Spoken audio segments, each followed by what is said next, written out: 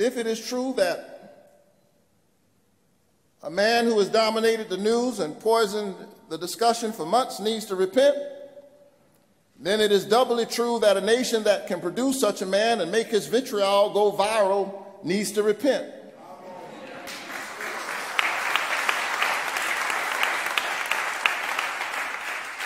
I don't, no matter what happens next month, more than a third of the nation that would go along with this is reason to be afraid. America needs to repent for its worship of whiteness on, on full display this season. How is it that you can insult everybody?